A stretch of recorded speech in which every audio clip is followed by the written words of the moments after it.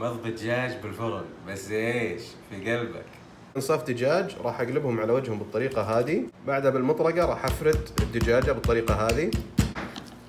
وقت تشوف كيف صارت مستوية معانا. الآن بالسكينة هنعمل شرخ بسيط هنا وهنا عشان نفتت الأنسجة بالطريقة هذه.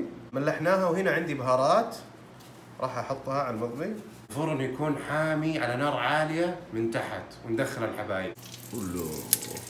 أيوة. فحمة هحط معاها كذا شوية زيت وهغطي. هنا عندنا رز شعبي.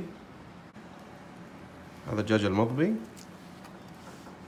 وهذا المضبي بالفرن علينا بألف عافية. وهذا العسل والطحين إذا يباه واك تشوف معاي. ما شاء الله تبارك الرحمن الله. يستاهلك. لا إله إلا الله.